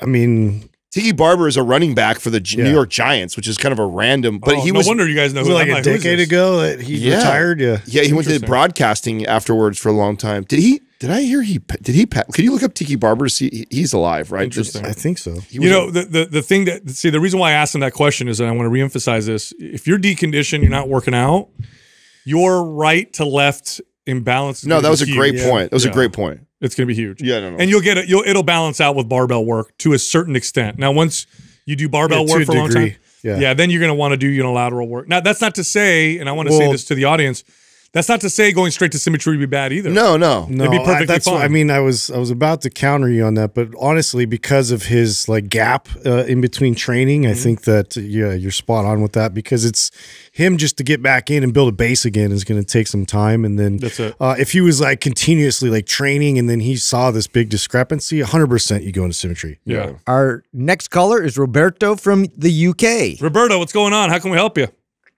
Hey guys, super excited to be with you. It's uh, it's super cool. I've been listening for the past two years, and it's uh, learning a lot, but also it's a lot of fun. To be honest, I'm a I'm father of two kids. I'm almost 40 years old, so I I can relate a lot.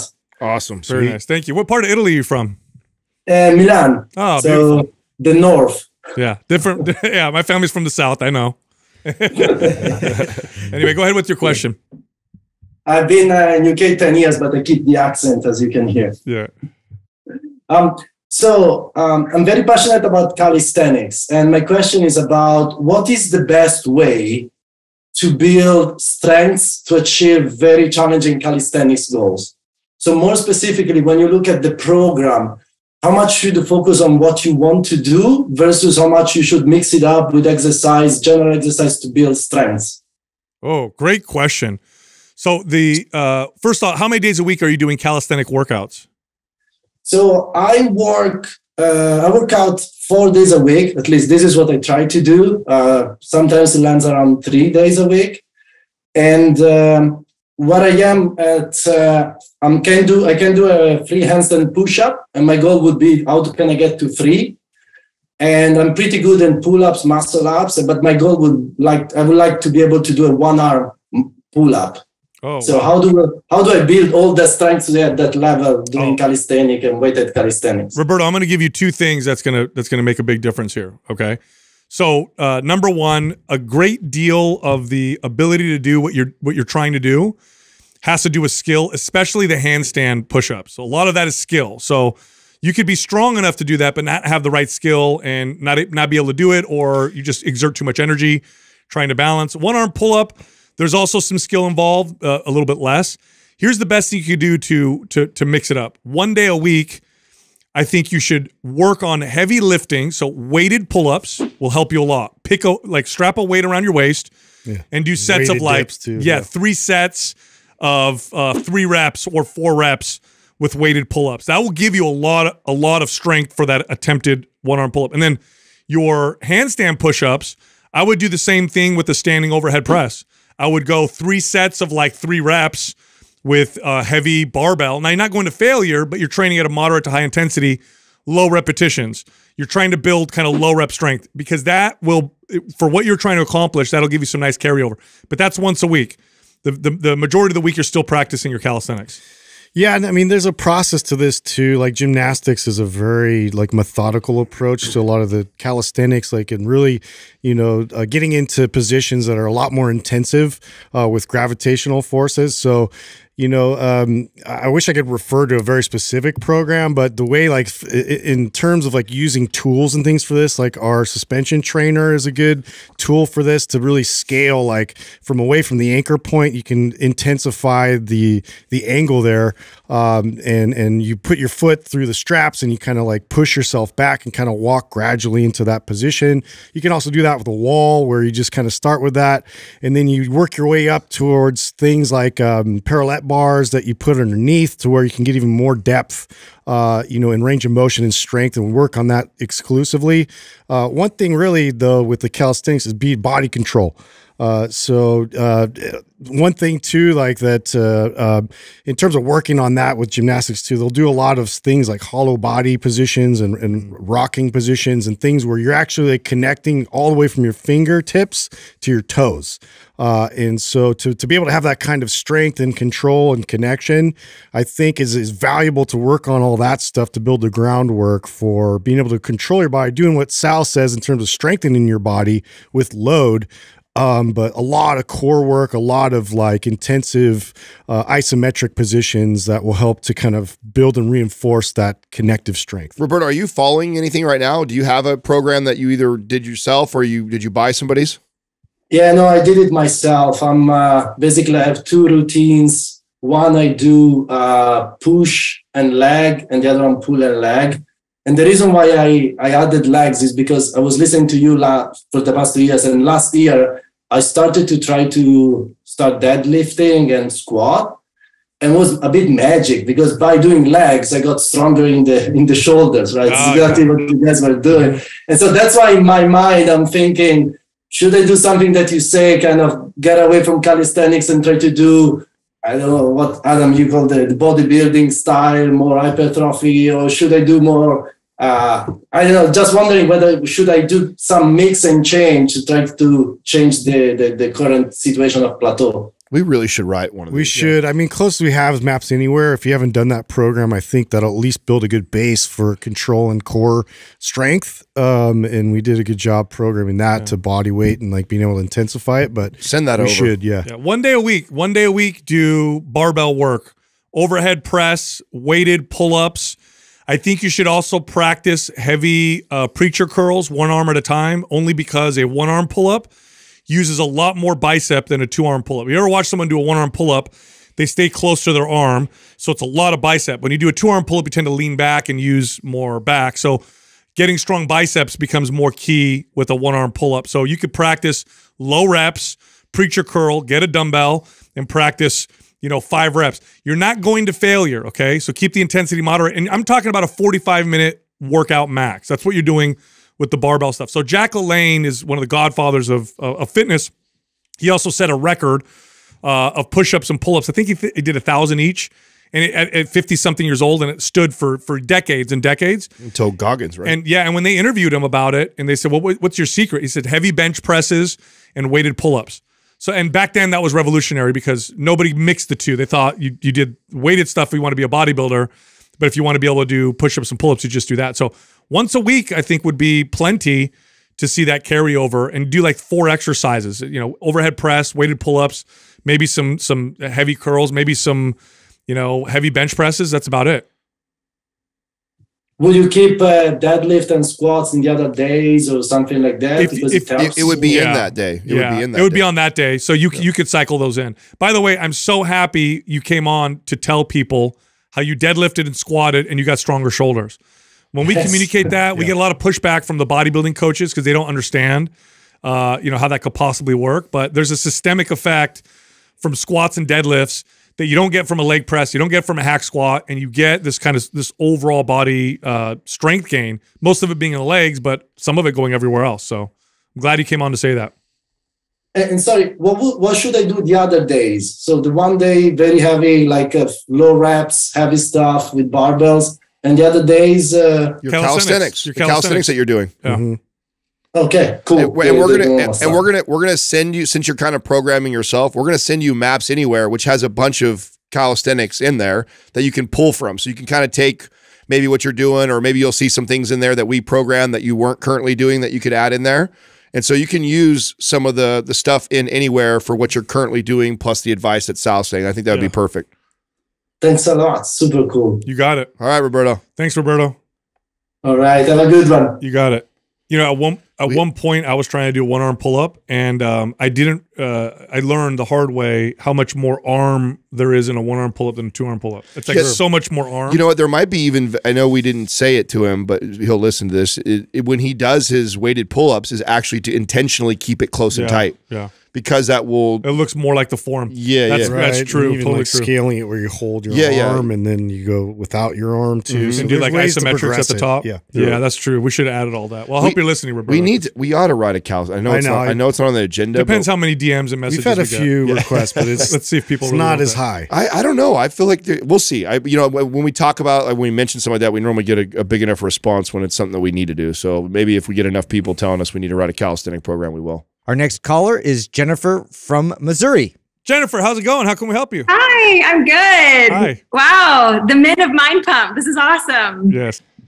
Thank you so much for having me on today. Um, I'm a huge fan of your guys' show. I uh, actually just found you uh, within the last six months, and um, yeah, I've I've learned so much from you guys uh, just in the short time I've been listening. Um, Thank you. totally entertained, obviously, um, and you're pretty much all that I listen to these days. Um, in fact, I picked my 12 year old son up from school last week, and um, he got in the car, and I was listening to one of your shows, and he goes, "Oh man, not these guys again." so, he'll come around though. Um, what I'd like to do is I'll tell you my question, and then I'll just give you a little bit of history to explain why this is my question. Right. So I think that like the foundation really um, is about like determining the threshold for overtraining, uh, which is a relatively new concept for me. Um, but my question is: Is it possible to um, overtrain or train in a high enough volume for an extended period of time that you can sort of become metabolically adapted to that training volume? To the extent that going forward, you may require a higher volume of training to get the same results that someone else might get at a lower volume. Hmm. So Okay. the reason, oh, go ahead. No, no, no, no. Continue, continue, because I, I have a thought, but yeah, go ahead. Okay, so the reason I wonder about this is because I'm I feel like I've I've in a I feel like I've been in a plateau for different reasons for a long time. But um, I'm 42 years old. I started weightlifting uh, when I was 33. I joined CrossFit, and um, I totally fell in love with it. Uh, became a big time gym junkie. I was probably training about two hours a day for four to five days a week, and I did that up until 12 months ago. Um, now, 18 months ago, I had a baby, um, and uh, I did CrossFit up until the week I delivered, and then I hopped right back into it postpartum. Um, and what CrossFit did really well for me is it kept me lean and it kept me strong. Um, but I, the plateau that I felt like I was in there is that I couldn't uh, put muscle on like I wanted to. So 12 months ago, um, with the goal of putting on muscle and maybe uh, you know, just not gaining body fat, right? Um, I transitioned away from like my CrossFit style training and started following more of like a bodybuilding aesthetic type program. So I cut way back on my volume. I learned about overtraining for the first time. And um, as a result, I did cut back on my conditioning significantly. So I now, for the last 12 months, I train four days a week. I train for 75 to 90 minutes. Um, I've also, in the last 12 months, joined NCI. And um, when I started learning more about nutrition, realized that I was way under eating. So I was at like 15 to 1600 calories forever. I reversed up to about 2200 calories. So that's where I was through this summer. Um, I went into a strength cycle for my training program at 2200 calories and did also like I was putting on muscle. I was making progress. I hit 220 on my back squat, which is a great PR for me. Hit 155 on my bench press, which was um, I was real proud of that. Um, so I knew I was like making strides, but then I've been in a hypertrophy cycle since August, and I feel like I'm like sliding backwards. So I'm gaining body fat. I feel like I'm losing strength. Um, and I sent some pictures into you guys. I don't know if you have those, but I felt like it was at least a visual of the progression. So, like pre pregnancy and then during pregnancy, six months postpartum, I was in a bikini on the beach and like felt like I had like not quite back gotten back down to where I was pre pregnancy, but pretty close. And then my current pictures, I'm like the highest amount of body fat that I've ever been like I, I sent these into you guys and then I was scrolling through them and I was like, dang, man, I'm like going from like badass to fat ass. I feel like moving in the wrong direction um, for the amount of training that I'm doing. So I just want to know, in your opinion, did I, I trained CrossFit for so long in such high volume should I be adding more volume to what I'm doing? Do I just need to have more in my workouts than what I'm getting right now to get the results that I'm after? Uh, unlikely. So I'm going to disagree with you on a couple things. Uh, you're saying to fat. ass. First of all, you're you a badass. I'm totally joking about that. Okay, I'm totally good. joking. You're still you're still a badass. And also, do you have some kind of a filter on your camera? Did you say you're you're you're over 40 and you have a 12 year old? I have a 12 year old and I have an 18 month old. Oh, Jesus, man. Okay. Yeah. So at 42. Yeah. All right. Well, you're, whatever you're doing, you're kicking ass, but let's talk about your training. Okay. Mm-hmm. okay. I don't want your, with someone with your training experience and background, at some point, so progressive overload does, is very important for most people, but at some point it, it's not going to keep working, right? I've been working out for almost three it's decades. Not linear. Yeah, I, I, I, if that were true always, I would be doing you know ten hour workouts seven days a week in order to continue, continue progressing. That's just not true. I mean, I just hit a lifetime PR uh, a month or so ago um, at, mm-hmm. at my age, right? So what you want to think of is not more. That works for a short period of time, like the first couple of years of training. After that, it's different. Think to yourself, different. You've been mm-hmm. doing hypertrophy style, bodybuilding style training for a while now your body's not responding anymore because it's the, been the same, same training. We got to change it. You got to change it up. So I think you could go more, you know, quote unquote functional. You could go to symmetry, uh, map symmetry, which is unilateral training. You could do powerlifting, a powerlifting style training, which is different than what you're used to. You just got to do different. Don't think more at this point. Now think different. Hey, map strong or performance. That's what comes to mind for yeah. me. I mean that that type of training. Also, you okay? You said you reverse dieted. Um, after you reverse dieted, have you kept your calories at 2200? Have you gone, have you tried to cut for a little bit for a while? What have you yeah, done? Yeah, like for the last month, I've gone down. I've tried to cut a little bit because um, like I know what it feels like to fit into not fit into pants because I've squatted too much. Like I know what that feels like, and now I know what it feels like to not fit into my clothes because I've like gained too much around my abdomen, right? Yeah. So I I cut down. I'm like 1850 to 2000 right now, and I have like I've lost a little bit. Like I've leaned out some, um, but I mean I can't see my abs right now, and I'm and that's like just kind of like it's sort of a new experience for me because like i said crossfit always kept me really lean yeah. but i was doing a lot of volume too you, you, were doing a lot of volume and your calories were really low mm-hmm. um, yeah I, you know i also think that because it sounds like you kind of did a, a, little bit of bodybuilding but i i would even because you have a competitive mindset because you probably have the discipline and if i was coaching you i'd like i would love to run like like a bodybuilder for a while and try and and tell you don't worry so much about the body fat percentage right now. That's we're gonna car. It'd be all about building your metabolism. My goal would be, can I get you up to like 2,800 calories from you know Mhm. these continued reverse dieting, then small mini cuts, then back up to increasing calories, and the and the goal would be to get your metabolism all the way up there to put on as minimal body fat as we can during that process, and then actually put you in like a cut and really try and lean you out until we have this kind of aesthetic goal that you're trying to achieve, and then go to like this functional type training, maps performance, maps strong, like. That's kind of where I'd want to get your metabolism in an even better place because 2200 is not bad, but it's also not amazing for the amount of activity and training volume that you're doing. Yeah. So you you could be It could a be higher. It could be a lot higher. And you know what? Maps aesthetic would be fine because Maps aesthetic is phased. So you're probably going to train in rep ranges that you haven't really been training in during this hypertrophy cycle. By the way, I'm going to go on a limb and just ask a couple questions that, that you know might be impactful, might mean nothing, but have you changed anything else during that period of time?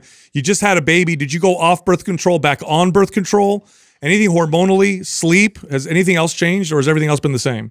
You know, it's like pretty much been the same. I got I'm I'm not on birth control, so that's that's Okay. not something that I'm doing. Uh, and that's and that's why I say like I had a baby. I know that that can impact hormones. Um, I did really well. I felt like with the strength cycle, like the low rep ranges, the Mm. higher weight. I like I like heavy weight, so that worked pretty well for me.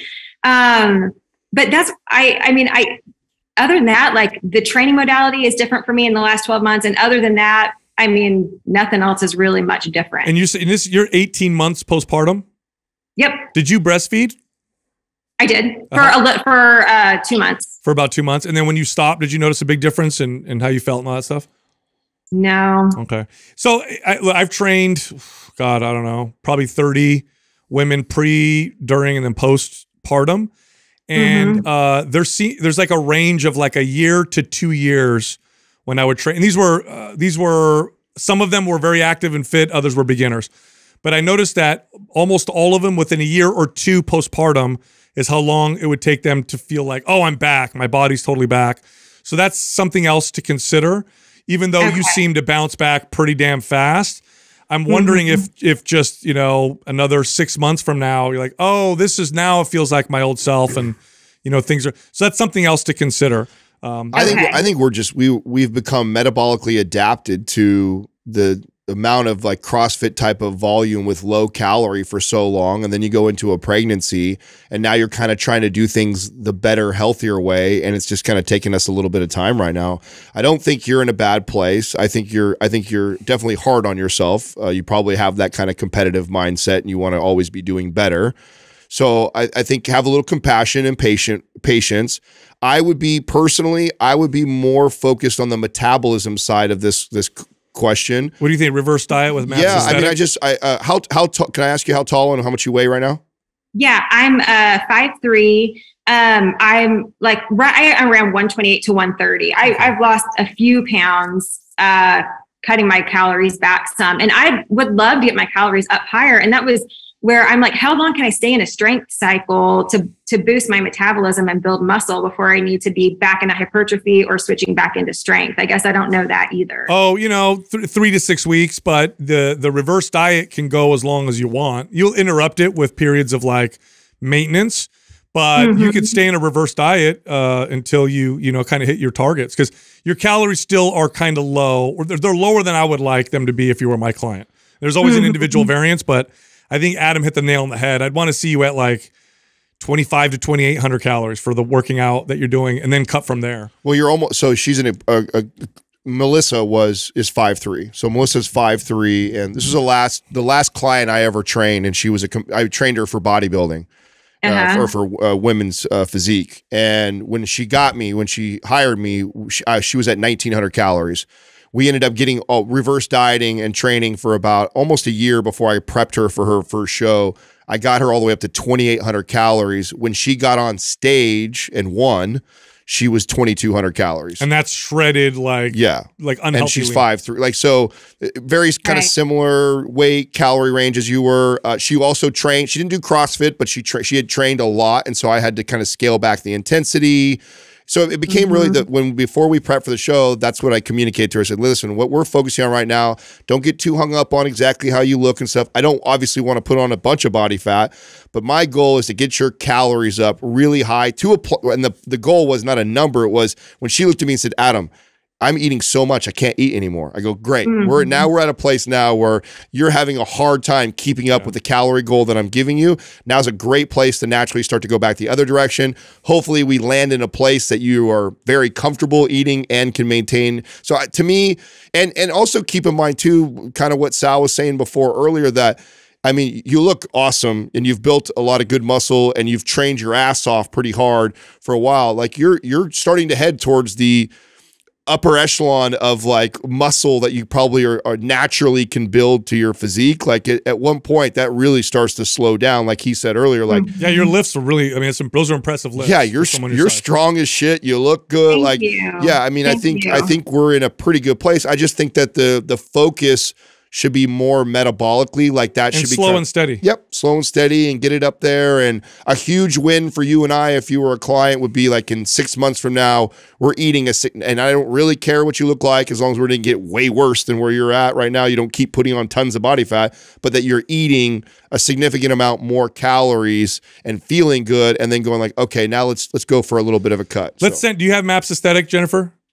No, I just got anabolic because I didn't. I read through all your plans. I didn't know what to do, so I actually did my first anabolic workout this week. Um, but I looked at aesthetic, and I there was one that I had considered. Would that be the best plan for me Well, to go with? yeah, Either- yeah, but. I wouldn't mind her running an anabolic. Yeah, now since that you, you say since that. you haven't done it yet, why don't you run that and, and wha- do the three foundational workouts a week, and then make sure to do all the trigger sessions on the off days. Okay, with your Yep. level of experience. After that, go to Maps Aesthetic. We'll send. You, Okay. we'll send you Maps Aesthetic. and and my goal would be to on the nutrition side is to be you know keeping you in a calorie surplus surplus for at least you know three to six weeks at a time and then what would make me go back the other way and by the way this will be challenging because we kind of mess with ourselves psychologically like you know really be like do not allow just a little bit of water retention or a little bit of weight really keep pushing Yeah. the calories until you're like okay i'm definitely starting to put on more than i like now i'm going to cut for a week maybe two weeks Okay. and then go back to the the increase again and kind of play that back and forth of a surplus uh, and, a, and a deficit but more often in a surplus trying to build the metabolism up do I do any cardio with that? Do I do any, or am I like just following the programming? Because I'm fine with that, and really, I'm fine with adding some body fat. Like mass moves mass. I know when I weigh more, I lift more. Yeah. Um, and I'm okay with that. I just want to make sure that I'm not putting myself into like a rabbit hole that I have a hard time digging myself Walks. out of. Yeah, I I would do walks. I just, just yeah, like, like you know, uh, three walks a day. You know, breakfast, lunch, dinner, fifteen minutes after each one. That's like forty-five minutes of walking. If you like cardio and you want to do it for health, there's nothing wrong with doing a few a few sessions a week.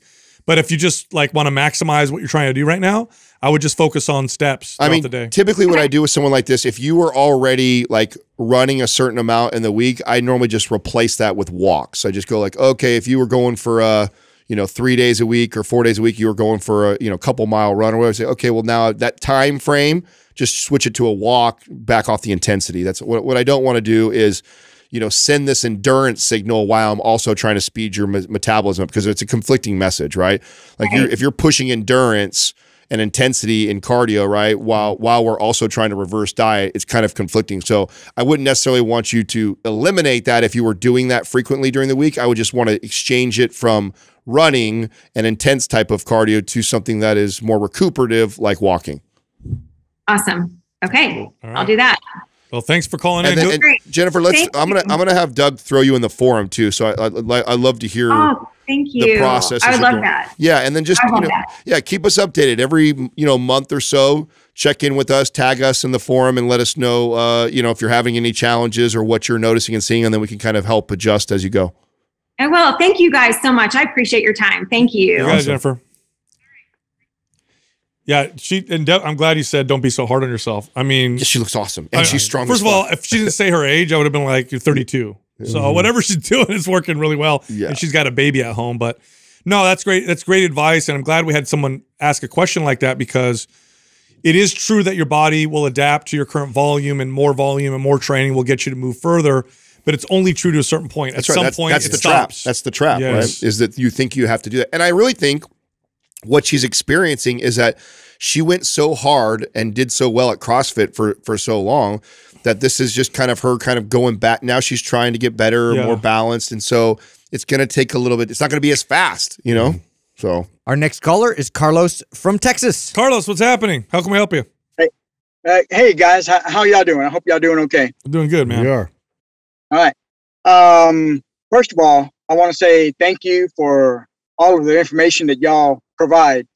Um, with y'all's information, I'm 55 years old and I'm in the best shape of my life, and uh, I owe a lot of that to y'all. So uh, I want to tell y'all that that I'm very appreciative uh, of that. Thank you. thank you, Carlos.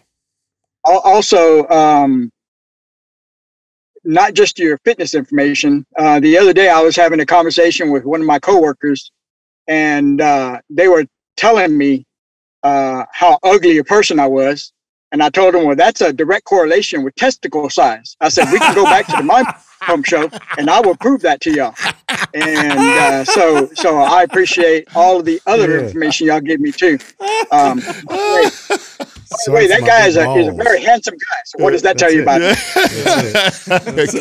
Carlos, you, Uh, you win yeah. today. Now, I. I I have a uh, pretty simple question. Uh, from time to time, I would do a prolonged fast. Um, and I would like to know um, how y'all adjust y'all's training on the days that y'all do those prolonged uh, fast. How long is Um, prolonged? and I'd also like to know how you in- reintroduce food once you are done with your fast. How, And how- I'd also like to get um, Doug's input on that because he's closer to my age. okay. So, yeah. um, Well, just so any advice would help, uh, be appreciated. well, just so you know, Carlos, he may be chrono- chronologically closer to your age, but he's way younger than we are. So I don't know if that's gonna work. Hey, Carlos, how long is prolonged? You said prolonged fast. What are we talking? day, multiple yeah, my, days. my fast usually 24 lasts hour. for 36 to 40 hours or so. Okay. Okay. Okay. I might go for 48, Okay. um, but I usually don't go longer than that. Okay, you're not you're not working out on those days. Yeah. How frequently are you doing these? Well, so I do my fast for religious reasons. Mhm. Um, and so whenever I do one of these fasts, um, I, I may do it once a week for a while. And I say a while for, for four weeks, six weeks or so. Mhm. Um, Mm. and then after that, I, you know, I'll, I'll stop and go back to my regular routine.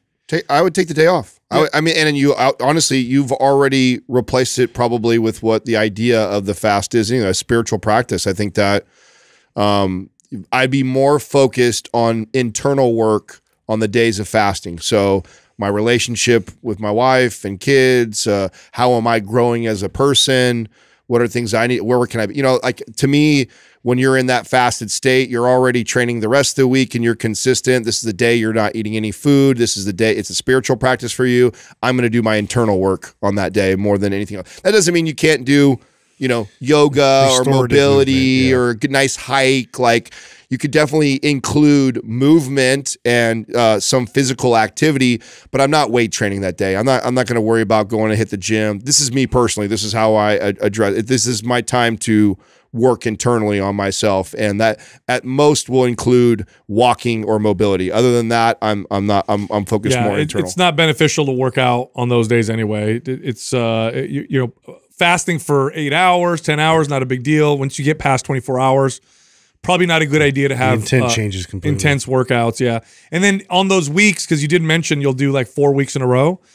The other workouts you would just judge based on how you felt. Okay, so you might need to reduce intensity, you might not.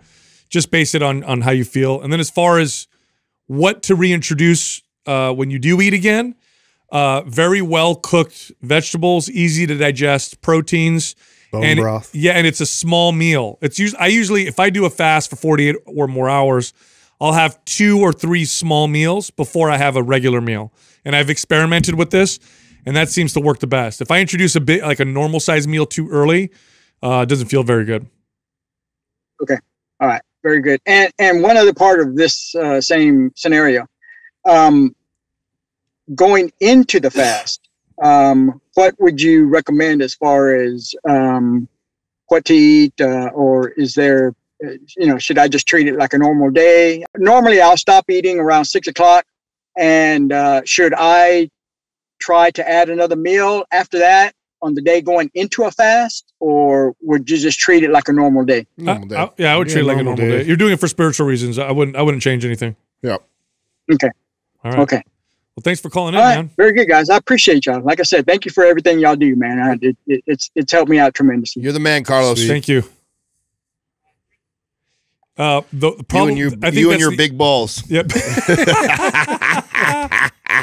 That's a study that I, Facts. I pulled up where they correlated I forgot about that. dude. testicle size to I had no. I had no idea where he was going. I know. and so that caught me off guard. That was really good. I know. So the more handsome you are, the smaller. Yeah, you- I was like, is he talking about like small taints? Yeah, I, know I forg- that study. I Yeah. forgot Oh, yeah. about that fine. one. You That know was what? He uh, of all the fasting questions we've got, I think he's the first person to say he's doing it for spiritual reasons, which is really the valuable. That's the most Right. valuable reason to do them. But um, but yeah, And even if you're not a, by the way, if you're listening and you're not a spiritual person and you're agnostic or atheist or what that too, I still think that I would use that as my time to do internal work. Like That's what it is. Self So, reflection. yeah, yeah. self reflection and what are other things, my relationships with my family and friends. So you don't need to be this detachment. godly person Be- to do prolonged fast for quote unquote spiritual reasons. There's plenty of other things that you can do that I think will benefit you, and I think that h- is supports your overall health journey. Right? Totally. Yeah. Look, if you like Mind Pump, head over to mindpumpfree.com and check out our guides. We have guides that can help you with almost any health or fitness goal. You can also find all of us on social media. So Justin is on Instagram at Mind Pump Justin. Adam is on Instagram at Mind Pump Adam, and you can find me on Twitter at Mind Pump Sal. Today, we're going to teach you everything you need to know to build a strong, well developed chest. When I think of uh, weak points and, and areas that I struggled with developing for a, a really long time, chest was up there with the. Yeah, it was for me. It was for me for sure. I got more caught up in the weight I could lift versus how I was developing my body. I think it's one of the most challenging muscles to develop for most people because the form and technique.